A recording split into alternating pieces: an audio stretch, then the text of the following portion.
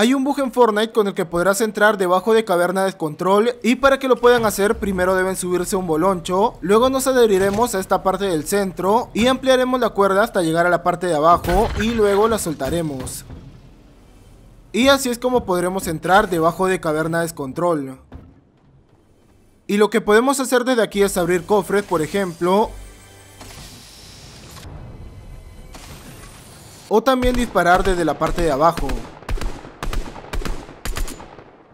Y un saludo para los últimos suscriptores del canal y si quieren aparecer en esta parte no olviden suscribirse.